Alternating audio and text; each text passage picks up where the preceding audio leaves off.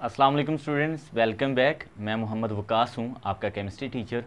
और हमारा organic chemistry again, organic chemistry में इस M W S chemistry channel पे मैंने basic concepts of organic chemistry nomenclature of organic chemistry organic compounds stereoisomerism इसके अलावा saturated and unsaturated hydrocarbon already ये लेक्चर बना के अपलोड कर दिए हुए हैं। अगर आप वो वहाँ से देखना चाहते हैं तो आप उनको जाके देख सकते हैं। प्लेलिस्ट में भी मौजूद हैं मेरे चैनल पे भी आपको मिल जाएँगे। अच्छा इसके बाद आज जो हम चैप्टर स्टार्ट करने लगे हैं वो अल्काइल हेलाइड है। आ, ये जो चैप्टर होगा ये इक्वली इंपॉर्टेंट होगा फॉर इंटर क्लास स्टूडेंट्स यानी एफएससी जिसको कहते हैं और उसके अलावा बीएस स्टूडेंट्स जो हमारे पास सीनियर थोड़े स्टूडेंट्स होते हैं थोड़े नहीं बल्कि काफ़ी सीनियर होते हैं। As compared to F S students so F भी यहाँ पे जो स्टूडेंट्स हैं वो सिंपली इन लेक्चर से फ़ायदा ले सकते हैं। तो मैं कोशिश करूँगा लेक्चर को ज़्यादा सिंपल रखूँ और आसान रखूँ ताकि आपको इजीली वो समझ भी आए। अच्छा ये जो अल्काइल हेलाइड हैं, इससे पहले हमारे पास एक टर्म है हेलो अल्केन्स हेलो अल्केन्स पहले इसको देख लेते हैं। ये जो हेलो अल्केन्स है ना, ये हेलोजिन डेरिवेटिव ऑफ़ अल्केन्स को कहते हैं। यानी वो कंपाउंड अल्केन्स वो अल्केन्स जिसमें हेलोजिन हाइड्रोजन की जगह रिप्लेस हुआ हो तो उनको हम हेलोल्केन्स कहते हैं। तो लाइक अगर हम बात करें एक्स से हम हेलोजिन को रिप्रेजेंट करते हैं तो ये मोनो हेलोल्केन है। अब ये हम दो अगर एक्स जोड़ दें, एक ही कार्बन के साथ तो ये डाई हेलोल्केन है। ये भी डाई हेलोल्केन है। और मैं इस तरह भी इनको बना सकता हूँ। डाई हेलोल्केन अलग अलग कार्बन से भी यूँ जुड़े हो सकते हैं। ठीक है, ये भी डाई हेलोल्केन ही है। यानी हेलोजिन दो आ रहे हैं। ये भी डाई हेलोल्केन है, ये भी। ये मोनो हेलोल्केन है। ठीक है? अब इसमें ट्राई हेलोल्केन भी हो सकते हैं। वो सेम कार्बन से भी जुड़े हो सकते हैं डिफरेंट कार्बन से भी जुड़े हो सकते हैं लाइक दैट ठीक है? ये ट्राई हेलोल्केन है। ये ट्राई हेलोल्केन है। एक और भी ट्राई हेलोल्केन बना देता हूँ। देखो, एक ही कार्बन से तीन हेलोजिन भी जुड़े हो सकते हैं यूँ। ये भी ट्राई हेलोल्केन है। तो इस तरह टेट्रा हेलोल्केन भी हो सकते हैं लाइक यूँ। ठीक है? तो ये एक जनरल सा इंट्रोडक्शन है हेलोल्केन्स के लिए। ये टेट्रा हेलोल्केन है। Like C C L four जैसे होता है। अब ये जो मोनो हेलोल्केन्स है ना, ये वाले, इससे हमारा कंसर्न है सिर्फ़। मोनो हेलो अल्केन्स अब ये जो मोनो हेलोल्केन्स है ना, इन्हीं को हम कहते हैं अल्काइल हेलाइड्स स्पेसिफिकली जो मोनो हेलोल्केन्स होते हैं, हम उन्हीं को अल्काइल हेलाइड्स कहते हैं। तो ये हम क्लास ऑफ़ ऑर्गेनिक कंपाउंड को स्टडी करना चाहते हैं। इस लेक्चर में आपने प्रेपरेशन सीखनी है कि अल्काइल हेलाइड को हम प्रिपेयर कैसे करते हैं। तो जनरली इनको हम अल्कोहल से प्रिपेयर करते हैं। लेकिन दो तीन मेथड्स और भी हैं जिनसे हम अल्काइल हेलाइड को बना सकते हैं, लेकिन बेस्ट मेथड्स जो होते हैं वो अल्कोहल से होते हैं। पहले हम इसके अलावा जो अल्कोहल के अलावा मेथड हैं, उनको थोड़ा सा डिस्कस कर लेते हैं। So we are now studying about preparation of preparation of alkyl halides अब आपको ये तो पता चल गया ना अल्काइल हेलाइड्स हमारे पास सिर्फ़ मोनो हेलोल्केन्स को कहते हैं। अच्छा ये बात बताने से पहले ना प्रेपरेशन बताने से पहले, मैं आपको further classification of alkyl halide भी बता देता हूँ। यानी आपको वैसे आइडिया तो है प्राइमरी सेकेंडरी टर्शरी कार्बन कौन कौन से होते हैं। लेकिन दोबारा से एक दफ़ा थोड़ा सा बता देता हूँ, देखें। लाइक अगर मैं एक अल्काइल हेलाइड लिखूँ, ये ये मोनो हेलोल्केन ही है तो इथाइल ब्रोमाइड है ये, या ब्रोमो इथेन अब इसमें ना, ये जो हेलोजिन जिस कार्बन से अटैच है, वो कार्बन आगे डायरेक्टली एक ही से अटैच है। तो ऐसे कार्बन की डिग्री को हम वन डिग्री कहते हैं। तो इस तरह के अल्काइल हेलाइड्स को हम बोलेंगे primary alkyl halide I hope ये आपको समझ आ गया होगा। ठीक है जी? प्राइमरी अल्काइल हेलाइड अब, अगर मैं कोई यहाँ पे एक और एग्जांपल ले लेता हूँ like C H three C H C H three यहाँ पर चलो क्लोरीन लगा दो आप। अब क्लोरीन को देखो, जिस कार्बन से बॉन्डेड है, यानी इस वाले कार्बन से, ये कार्बन आगे दो से डायरेक्टली बॉन्डेड है। तो इसकी डिग्री को हम बोलते हैं टू डिग्री। तो ये कौन सा हुआ? सेकेंडरी अल्काइल हेलाइट ठीक है? सेकेंडरी अल्काइल हेलाइट और राइट स्टूडेंट्स इसी तरह टर्शरी भी हो सकता है, वो मैं आगे लिख देता हूँ यहाँ पे। देखो, अगर हमारे पास इस तरह होता, ऐसा कार्बन जो डायरेक्टली तीन कार्बन से बॉन्डेड हो ये टर्शी ब्यूटाइल ब्रोमाइड है तो ये वाला जो कार्बन है, ये डायरेक्टली चूँकि कितनों से बॉन्डेड है? तीन से। तो इसकी डिग्री क्या हुई फिर? थ्री डिग्री तो इसको बोलेंगे tertiary alkyl halide tertiary alkyl halide hope so students आपको समझ आ रही होगी, है ना? तो ये टर्शरी अल्काइल हैलाइड ये सेकेंडरी वाला था और ये वाला प्राइमरी अल्काइल हेलाइड था। अब एक और एग्जांपल मैं यहाँ पे लेता हूँ लाइक ये C H three C L अब ये कार्बन तो किसी से भी बॉन्डेड नहीं है है ना? यानी पहले तो हमने कहा ना, जो कार्बन डायरेक्टली एक से बॉन्डेड हो उसको प्राइमरी बोलना है, जो डायरेक्टली दो से बॉन्डेड हो सेकेंडरी बोलना है, जो डायरेक्टली तीन से बॉन्डेड हो, उसको टर्शरी बोलना है। अब ये तो किसी से भी बॉन्डेड नहीं तो इसको भी प्राइमरी ही बोलते हैं। So this carbon is also with one degree and this is primary as well so अब आपको थोड़ा सा आइडिया हो गया होगा कि हेलोल्केन जो हम चैप्टर स्टार्ट कर चुके हैं, ये क्या होते हैं? मोनोहेलोल्केन्स और उसके बाद उनके जो मोनोहेलोल्केन्स की आगे टाइप हैं, जिनको हम अल्का हेलाइड कहते हैं मोनोहेलोल्केन्स को यानी कि अल्का हेलाइट्स इनकी आगे जो टाइप्स हैं उसमें ये आपके पास प्राइमरी सेकेंडरी और टर्शरी हो सकते हैं। अच्छा नॉमन क्लेचर यहाँ पर मैं एक्सप्लेन नहीं करने वाला। नॉमन क्लेचर ऑलरेडी मैंने अल्का हेलाइट्स का एक्सप्लेन कर दिया हुआ है ठीक है? कॉम्प्लिकेटेड कंपाउंड्स का भी और सिंपल कंपाउंड्स का भी। तो अब हम आगे बढ़ेंगे डायरेक्ट सिर्फ़ प्रेपरेशन की बात करेंगे। सो so, प्रेपरेशन तो स्टूडेंट्स आपको याद होगा आप मैट्रिक लेवल पे और एफएससी लेवल पे अगर आप एफएससी के भी स्टूडेंट्स हैं तो एफएससी लेवल पे आपने पढ़ा मैट्रिक में भी पढ़ा होगा। कि अगर हम कोई भी अल्केन लें लाइक हम मीथेन लें इसकी हम सनलाइट क्लोरिनेशन करें अल्ट्रा वायलेट रीजन में यूवी में। फोटोन्स के लिए एच न्यू लिखा है मैंने। तो आ, क्या होगा? सक्सेसिव रिप्लेसमेंट होगी इन हाइड्रोजन्स की फ्रॉम दैट कार्बन एटम ठीक है? तो जब पहला हाइड्रोजन रिप्लेस करेगा ये क्लोरीन की फ्री रेडिकल मैकेनिज्म होता है आपने पढ़ा होगा। तो पहली दफ़ा एक क्लोरीन आएगी। जब दूसरी दफ़ा हम ऐड करेंगे तो दूसरी क्लोरीन हाइड्रोजन को रिप्लेस कर देगी। तीसरी दफ़ा तीसरी रिप्लेस कर देगी। तो C H C L three और चौथी दफ़ा चौथी तो सी सी एल फोर तो ये सारे मिक्सर ऑफ़ कंपाउंड हमें यहाँ पे मिल रहे होंगे plus H C L hydrochloric acid हम इसको बैलेंस नहीं कर रहे रिएक्शन को। तो जस्ट आपको बताना ये था, इसे monohaloalkane di tri and tetrahaloalkanes बना सकते हैं। यानी अल्काइल हेलाइड हम इस मेथड से बना सकते हैं। तो ये हमारे पास हुई सनलाइट हेलोजिनेशन सनलाइट हेलोजिनेशन से भी हम अल्काइल हेलाइड को बना सकते हैं। लेकिन इसमें एक प्रॉब्लम है। प्रॉब्लम ये है कि इस रिएक्शन को कंट्रोल करना चूँकि मुश्किल होता है तो इसमें हमें मिक्सर ऑफ़ प्रोडक्ट्स मिलती हैं। लाइक ये फ्री रेडिकल है ना तो दैट्स वाई तो ये इतना कोई सूटेबल मैथड नहीं है for the preparation of alkyl halide specially तो इसमें तो चूँकि हमें मिक्सर ऑफ़ यानी एक हम अल्काइल हेलाइड को यहाँ पर बनाना यह हमारे लिए पॉसिबल नहीं होता। तो ये पहला मेथड हो गया। अच्छा दूसरा मेथड आपने पढ़ा होगा। ये पहला था। Hydro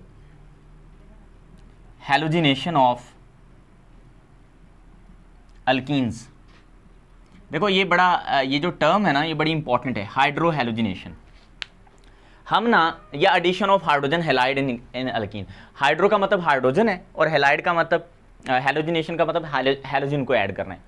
हम अल्कीन्स में हाइड्रोजन और हेलोजिन यानी फ्रॉम एसड जो हमारे पास एसड हेलाइड होंगे, जिनको हम हेलोजिन एसड्स भी कहते हैं, उनकी मौजूदगी में। लाइक ये हमारे पास इथीन है। सही है? तो इसमें हम एच बी आर ऐड करवा देते हैं। तो देखो, ये हेलोजिन एसड है। तो एक हाइड्रोजन ऐड होना है, एक कार्बन में, और एक में बरोमीन ऐड होना है। तो इसलिए हम इसको बोलेंगे हाइड्रो हेलोजिनेशन इसके बिल्कुल एक ऑपोजिट टर्म होती है डी हाइड्रो हेलोजिनेशन उसका मतलब होता है हाइड्रोजन और हेलोजिन का रिमूव होना। तो देखो, इससे अल्काइल हेलाइड बनेंगे। C H three C H two B R तो ये अल्काइल एक डबली बॉन्डेड कार्बन को मैंने हाइड्रोजन के साथ जोड़ दिया और एक को बरोमीन के साथ यूँ। लेकिन अगर ये तो सिमेट्रिकल अल्कीन्स है ना, अगर यहाँ पे अनसिमेट्रिकल अल्कीन्स होती लाइक इस तरह होता तो फिर यहाँ पे मार्कोनी कोव रूल लगता। पता है ना मार्कोनी कोव रूल हाँ जी, पता होगा आपको, बिल्कुल सही है। हाँ जी, क्या होगा? जो नेगेटिव पार्ट है इस रिएजेंट का, वो उस कार्बन के पास जाएगा जिसके पास लीस्ट हाइड्रोजन होंगे। और पॉजिटिव पार्ट उस डबली बॉन्डेड कार्बन के पास जाएगा, जिसके पास ज़्यादा हाइड्रोजन ऑलरेडी मौजूद होंगे। तो इससे भी हमारे पास C H three C H यहाँ पर बी आर बनेगा। तो ये सेकेंडरी अल्काइल हेलाइड बन के आ गए अगर आप प्राइमरी बनाना चाहते हो, इसी मेथड से प्राइमरी अल्काइल हेलाइड को तो आप यहाँ पे पर ऑक्साइड यूज़ करोगे। लाइक अगर यही, जिसको हम एंटी मार्कोनिक ओव रूल में पढ़ते हैं। तो आप एच बी आर ही आपने यूज़ किया है, लेकिन यहाँ पे कोई आप पर ऑक्साइड यूज़ करोगे। पर ऑक्साइड तो स्टूडेंट्स आपके पास ऊपर वाली प्रोडक्ट का इन्वर्ट प्रोडक्ट मिलेगी हमें, यानी उसका उलट मिलेगी हमें। ठीक है, कैसे? C H three C H two C S two यहाँ पर आ जाएगा बी आर तो यूँ प्राइमरी अल्काइल एलाइड हमने तैयार कर लिए इसमें हुआ क्या है? ये हाइड्रोजन इसके साथ गया और ये बी आर इसके साथ। चूँकि ये फ्री रेडिकल मैकेनिज्म के तहत होता है, ये वाला। तो इसलिए जो हमें प्रोडक्ट मिलती है, वो एंटी मार्कोनी कोव्स रूल के मुताबिक मिलती है। और यहाँ पे मार्कोनी कोव्स रूल अप्लाई होता है क्योंकि यहाँ पे हमने परोक्साइड नहीं यूज़ किए। तो हमारे पास प्रोडक्ट जो है वो सिंपल मिलती है। तो यहाँ पे थोड़ा सा हमने मार्कोनी कोव्स रूल को भी डिस्कस किया। ये जो दो मैथड है ना, ये इतने फेमिलियर नहीं है for the preparation of alka alkyl क्योंकि यहाँ पे हमें यील्ड कम मिल रही होती है। तो जो बेस्ट मैथड्स हैं अल्का अल्काइल को बनाने से बनाने के लिए वो हैं फ्रॉम अल्कोहल्स तो अब हम देख लेते हैं अल्कोहल से हम अल्काइल को कैसे बनाते हैं। जी स्टूडेंट्स अब ना हम अल्केन्स सॉरी हम अल्काइल को प्रिपेयर करेंगे फ्रॉम अल्कोहल्स जो कि हमारे लिए यहाँ पे इंपॉर्टेंट भी है। देखो, इसमें जो पहला मेथड है, पहला मेथड वो है हम अल्कोहल का रिएक्शन करवाएँगे विद हेलोजिन एसिड विद मैं, ये जो विद लिख रहा हूँ ना, ये अल्कोहल के साथ रिएक्शन होना with halogen acids halogen acids हमारे पास क्या होते हैं? एचएक्स को कहते हैं। एच एक्स ये कहलाते हैं हेलोजिन एसिड इसमें एच सी एल है एच पी आर है एच आई है. एच एफ़ बहुत ही कम रिएक्टिव है. वैसे एच सी एल भी यहाँ पे कम रिएक्टिव ही होता है. हम अल्कोहल लेंगे कोई भी like R C H two O H ये हमने अल्कोहल ली. इसमें हमने हेलोजिन एसड को डाला. यहाँ ना दो बातें आपने याद रखनी है. जो हेलोजिन एसड्स हैं H C L H B R और एच आई इनमें से दो हैं जो रिएक्टिव हैं एच बी आर और एच आई एच आई हम डायरेक्ट यूज़ नहीं करेंगे। मैं बताता हूँ क्यों। ठीक है ये सारी बातें आपको पता चलेंगी। एच सी एल कम रिएक्टिव है इसके साथ कैटलिस्ट को यूज़ किया जाता है। तो एच बी आर वाला मेथड यहाँ पे इंप्लीमेंट हो सकता है। बहरल हेलोजिन एसिड अब होगा क्या? यहाँ पे बन जाएगी R C S two X alkyl और प्लस में देखो आ, ये जो हमारे पास H है और ये ओ OH है ये आपस में मिलके क्या बना देंगे? Water H two O. ठीक है? तो अगर आप बाकी एच सी एल के लिए ये करना चाहते हो तो यहाँ पे Z N C L two लेना पड़ेगा। वो मैं आपको अभी बता देता हूँ लेकिन पहले हम सिंपल मैकेनिज्म को समझ लेते हैं। इसका मैकेनिज्म है जो एफ़ एस सी लेवल पे तो रिक्वायर्ड नहीं है लेकिन बी एस पे होता है। तो अगर आप एफ़ एस सी वाले स्टूडेंट सुन रहे हैं तो अगर आप इसको समझ लोगे तो ये आ, ऐसी कोई बुरी बात नहीं होगी ठीक है? आपके लिए फ़ायदा हो जाएगा। तो बहरहाल सिंपल है बहुत सिंपल मैकेनिज्म है। आर सी एस टू यहाँ alcohol as a nucleophile act करेंगी। आपको बताया हेलोजिन एसिड ने प्रोटोन प्रोवाइड करना है हमें। तो यहाँ पे आ, ये जो ओ एच के इलेक्ट्रॉन है ये न्यूक्लियोफाइल के एज ए न्यूक्लियोफाइल इस इलेक्ट्रोफिलिक रीजन यानी हाइड्रोजन पे अटैक करेंगे प्रोटोन पे। ये इलेक्ट्रॉन इधर चले जाएँगे। तो हमारे पास बन जाएगा R C H two O S two यहाँ पर पॉजिटिव चार्ज आ जाएगा और प्लस में एक्स नेगेटिव यानी एक हाइड्रोजन इसके साथ जुड़ गया। अब वाटर एक बहुत अच्छा लिविंग ग्रुप है।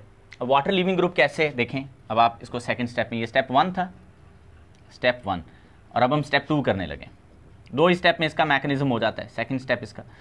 तो यहाँ पे देखो आप C S two O S two positive है, ठीक है? प्लस में, अब ये जो एक्स नेगेटिव है, ये एज ए न्यूक्लियोफाइल अटैक करेगी। अब ये इस पर नहीं करेगी, क्योंकि ऑक्सीजन बहुत इलेक्ट्रोनेगेटिव होता है। ये इलेक्ट्रॉन को हाइड्रोजन से विड्रॉ करना एब्स्ट्रैक्ट करना शुरू कर देगा। तो इस हाइड्रोजन पे पार्शियल पॉजिटिव चार्ज आ जाएगा, जिसकी वजह से और ये वाटर यहाँ से लिविंग ग्रुप के तौर पे लीव कर जाएगा।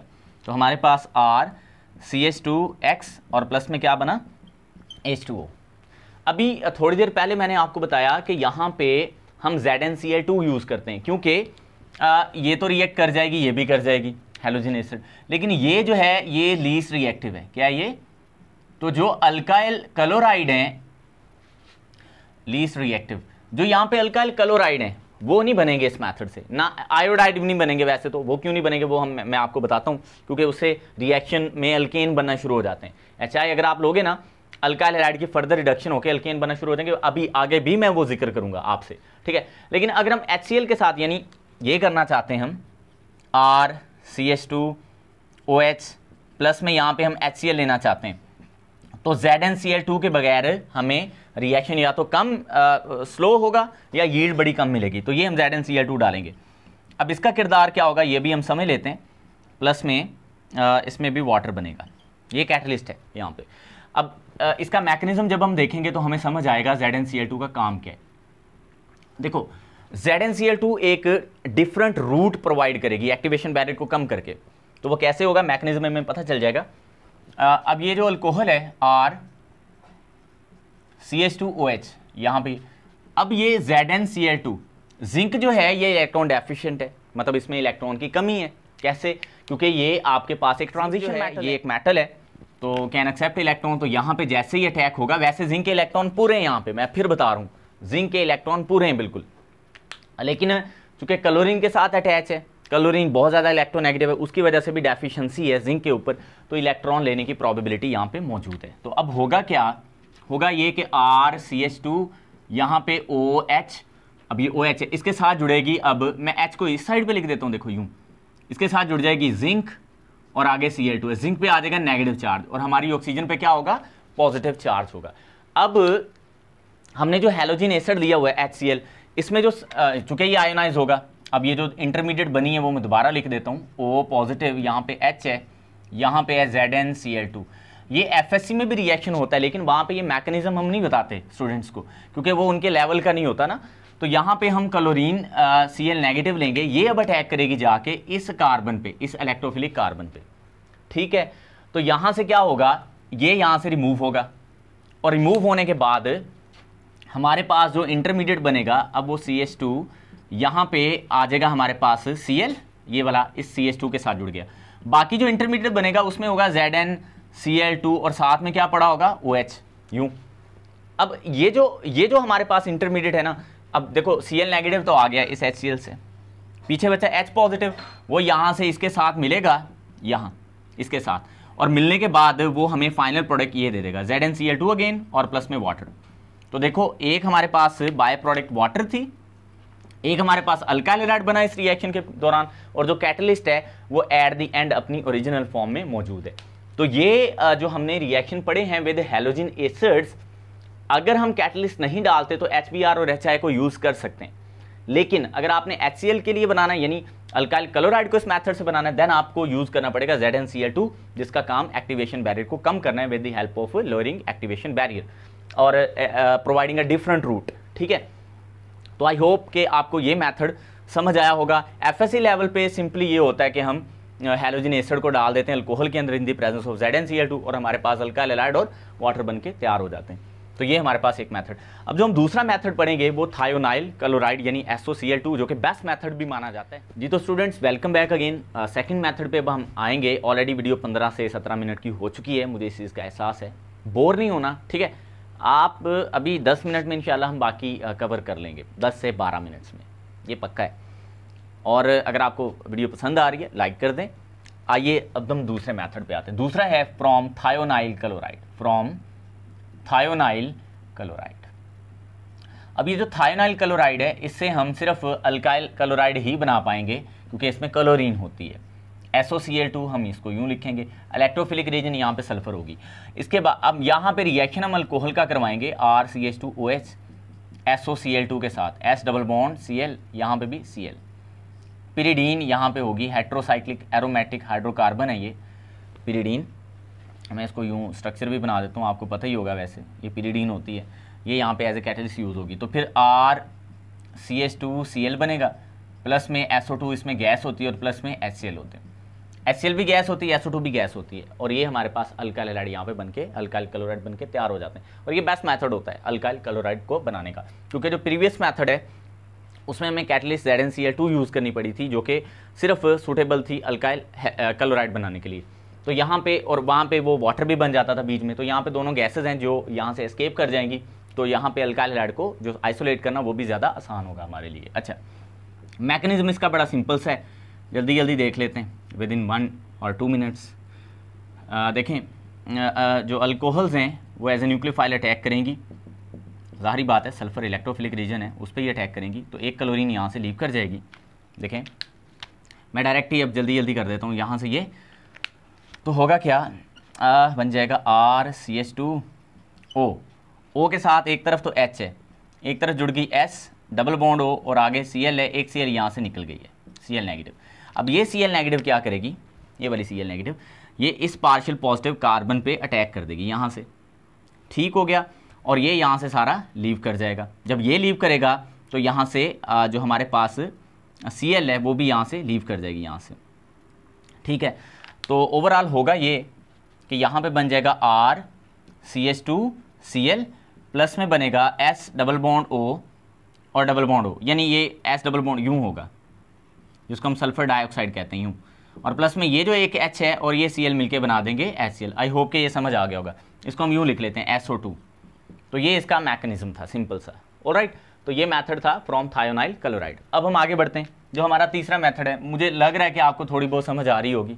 अगर थोड़ी बहुत नहीं आ रही, ज़्यादा आ रही है तो फिर बहुत अच्छी बात है।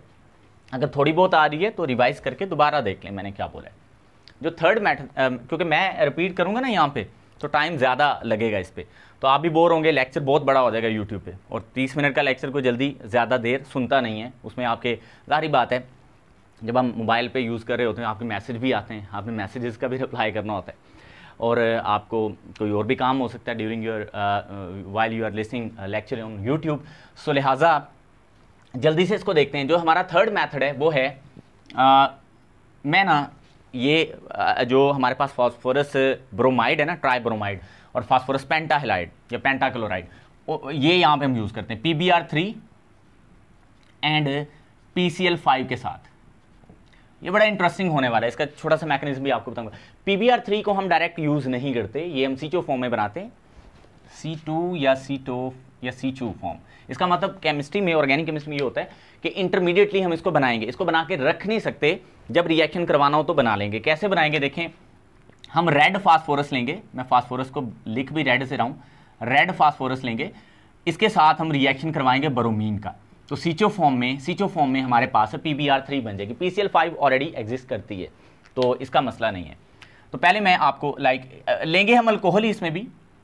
लाइक मैं ले लेता हूँ आर सी एच टू चलो, आपने कहना है आर आर सर हर दफ़ा ले रहे हैं। इस दफ़ा मैं इथाइल अल्कोहल ले लेता हूँ। ओके इसका रिएक्शन मैं करवा रहा हूँ किसके साथ? पी बी आर थ्री के साथ। जो सीचो फॉर्म में बनाया हमने फास्फोरस रेड लेके और ब्रोमीन लेके। तो इससे हमारे पास जो प्रोडक्ट बनेगी, वो बनेगी C H three C H two B R ये तीन बी आर हैं, इधर हमारे पास इधर एक है, इधर तीन है, इधर एक है। इसको थ्री से मल्टीप्लाई कर दो। पीछे हमारे पास, इसको भी तीन से मल्टीप्लाई करना पड़ेगा, क्योंकि ये बैलेंस कर रहा हूँ। ये चाहिए तीन। फिर तीन ऑक्सीजन बचेंगे, तीन हाइड्रोजन बचेंगे, एक फास्फोरस बचेगी। तो ये बन जाएगी H three P O three ठीक है? अगर हम पी सी एल फाइव लेते तो C H three C H two O H plus में क्या होता है यहाँ पे? पी सी एल फाइव तो अब एक क्लोरीन इसमें ऐड कर दें आप सब्सटीट्यूट कर दें C H two C L पीछे बची चार क्लोरीन्स उसमें से एक, देखो ना, हमारे पास ये तो सारा निकल गया ओ एच इसमें अब हाइड्रोजन है, वो एक क्लोरीन के साथ मिलकर बना देगा एच सी एल अच्छा एक यहाँ पे ऑक्सीजन बची है, तीन क्लोरीन बची हैं तो वो बन जाएगा P O C L three तो ये अब जो मैकेनिज्म मैं आपको बताऊँगा वो ऊपर वाले का बता देता हूँ। नीचे वाले का भी ऐसा वैसे ही होगा तकरीबन आलमोस्ट सेम ही होगा लेकिन हम ऊपर वाले का मैकेनिज्म देख लेते हैं। पी बी आर थ्री वाले का। देखो मैकेनिज्म में हमारे पास पी बी आर थ्री कुछ यूँ होगा। वैसे ये आ, इस तरह इसका स्ट्रक्चर एग्जैक्ट तो नहीं होता लेकिन हम बना लेते हैं। इस पर पार्शियल पॉजिटिव चार्ज होगा। तो अब अल्कोहल मैं आर ओ एच लिख लेता हूँ यहाँ पे। आर ओ एच ज़्यादा सिंपल हो जाएगा। ये जाके किस पे अटैक करेगी? हाँ जी बिल्कुल। फास्फोरस पे अटैक करेगी। और एक बी आर यहाँ से क्या कर जाएगी? लीव क्योंकि फास्फोरस ने यहाँ पे तीन बॉन्ड बनाने तो मेरे पास बन जाएगा आर इस ओ के साथ जुड़ेगा अब फास्फोरस। तो ओ के एक तरफ़ एच है एक तरफ़ पी है। पी के दो तरफ़ बी आर है। तो ये मैं बी आर यूनिट और प्लस में क्या है? बी आर नेगेटिव ये बोर्ड पे पता नहीं अब नज़र आ रहा है कि नहीं। ये B R plus B R negative ये मैं यहाँ पे लिख देता हूँ। ठीक है? आ, मैं एक मिनट देख लूँ ये नज़र आ रहा है कि नहीं।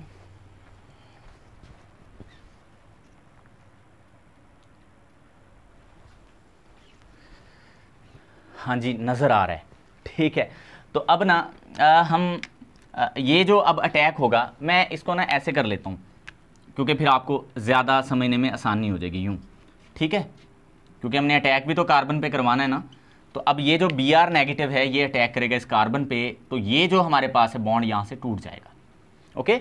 तो हमारे पास इसका जो रिजल्टेंट हमें मिलेगा वो ये मिल जाएगा R C H two B R है ना? यानी ये जो एक अल्काइल ब्रोमाइड बना ये वाला। प्लस में एक इंटरमीडिएट बनेगा, देखें इंटरमीडिएट में क्या होगा? ओ OH होगा पी होगा बी यानी ये होगा H O P B R two H O P B R two अब क्या होगा? एक और अल्कोहल का मॉलिक्यूल आएगा, वो इस पर अटैक करेगा। मैं फिर बता रहा हूँ, ये जो अभी बना है, ये अभी दो बरोमीन और इसमें मौजूद हैं। क्योंकि हमारे पास टोटल कितने मोल बनने हैं? तीन मोल अभी तो एक मोल बना है ना? तो फिर क्या होगा? एक और अल्कोहल का मॉलिक्यूल आके इस पर अटैक करेगा फास्फोरस पे। एक और बरोमीन लीव होगा। तो फिर एक और अल्काइल बरोमाइड बनेगा। फिर एक और बच जाएगा बरोमीन इसमें। फिर एक और अल्कोहल आके अटैक करेगी तो ये तीसरा भी बन जाएगा। तो यूँ हमारे पास ये तीन दफ़ा बनेंगे। और फाइनली हम हासिल कर लेंगे यहाँ पे three R C S two B R plus में हासिल हो जाएगा वो जो H three P O three था, ये। ये चीज़ बन जाएगी। फाइनली मैं लिख देता हूँ फाइनली आखिरकार ये बन जाएगा। ओके स्टूडेंट्स अब ये तीन मैथड हो गए हैं। तीन मैथड हो गए एक मैथड और बताता हूँ अल्काइल आयोडाइड के लिए। देखो, मैंने आपको शुरू में बताया था कि जो अल्काइल आयोडाइड है ना, उनको हम डायरेक्टली हाइड्रोजन आयोडाइड से तैयार नहीं करते। एचआई से तैयार हम ये भी तो कर सकते हैं ना अल्कोहल नहीं और एचआई मैं करके दिखाता हूँ आपको। अच्छा ये मेथड ना, अब फॉर अल्काइल आयोडाइड के लिए सिर्फ़ स्पेसिफिकली आयन एक्सचेंज मैथड भी हम इसको कहते हैं, बड़ा इंपॉर्टेंट है। इंपॉर्टेंट भी है और समझ भी आ जाएगा आपको। देखो, हम ये कर सकते थे, ये मैं बोल रहा हूँ, हम कर सकते थे कि हम ये अल्कोहल लेते, हम इसमें एचआई डालते और ये बन जाती। चलो, मैं इसको ना ऐसे लिख लेता हूँ सी एच थ्री और सिंपल हो जाएगा ये। तो यहाँ होता C H three C H two I बन जाता और प्लस में बन जाता वाटर थोड़े लम्हे के लिए हम यही सोचेंगे। फिर क्या होता हाइड्रोजन आयोडाइड तो अभी भी मौजूद है सोल्यूशन के अंदर। तो ये हाइड्रोजन आयोडाइड चूँकि बहुत रिएक्टिव एसिड है, बहुत स्ट्रॉन्ग एसिड होता है, सारे हाइड्रोजन एसिड में तो ये फर्दर रिएक्ट करके इसको तो रिड्यूस कर देगा अल्केन में और आयोडीन बन जाएगा। तो हमें अल्केन तो नहीं चाहिए फाइनल प्रोडक्ट क्या मिल गई है? अल्केन हमें तो चाहिए थी ये, लेकिन ये यहाँ पे रुकी नहीं, क्यों? क्योंकि एच आई रिएक्टिव थी। इसलिए यील्ड ऑफ़ जो अल्काइल आयोडाइड है, वो बेहद कम हो जाएगी। तो ये नहीं हमें करना, ठीक है? इसलिए हम क्या करेंगे? जो अल्काइल आयोडाइड होते हैं ना फॉर अल्काइल हेलाइड नहीं, यहाँ पे आना था अल्काइल आयोडाइड। तो जो अल्काइल आयोडाइड होते हैं, आयोडाइड अच्छा ठीक है। जो अल्काइल आयोड, उनके लिए ये मैथड हम डायरेक्टली यूज़ नहीं करते। तो फिर हम क्या करते हैं? हम कोई भी अल्काइल क्लोराइड लेते हैं, या अल्काइल बोरोमाइड लेते हैं, क्योंकि ये तो बन जाते हैं ना डायरेक्टली तो इसका रिएक्शन हम करवाते हैं सोडियम आयोडाइड के साथ in the presence of acetone acetone as a solvent यहाँ पे यूज़ होता है। तो फिर हमें यील्ड अच्छी मिल जाती है। इसको आयन एक्सचेंज कहते हैं। देखो, जो आयोडीन है ना आई नेगेटिव ये एक अच्छी न्यूक्लियोफाइल भी होती है, ये याद रखनी बात आपने। क्योंकि आगे हमें रिएक्शंस में काम आएगी। जो अभी हम आगे आने वाले लेक्चर्स में देखेंगे ना रिएक्शंस तो वहाँ पे काम आएगी। जो आयोडाइड आयन होता है, ये एक अच्छी न्यूक्लियोफाइल भी होती है और एक अच्छी लिविंग ग्रुप भी होती है। ये आपने याद रखना है।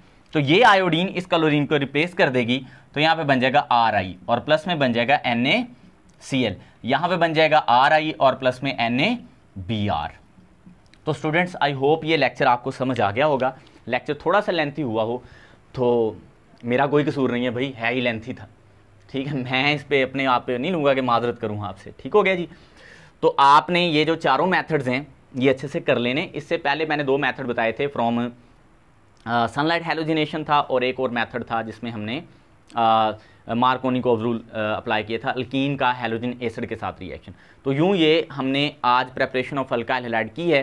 एक दो मेथड रह गए जो इंपॉर्टेंट भी हैं, वो मैं इंशाल्लाह अगले लेक्चर में अपलोड कर दूँगा। इसके बाद हम रिएक्शंस पे आएँगे, जिसमें S N one S N two E one E two last पे इनका आपस में कंपैरिजन भी होता है, जो एफएससी लेवल पे हम नहीं पढ़ते। ठीक है जी?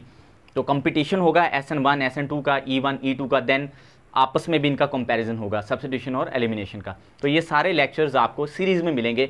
और मैक्सिमम ये चैप्टर हाँ फिर इसमें ग्रिगनर रीजन भी तो है ना हाँ वो भी हम अपलोड करेंगे इसी चैनल के ऊपर इसी चैप्टर के अंदर, हल्का हेलाइट्स के अंदर।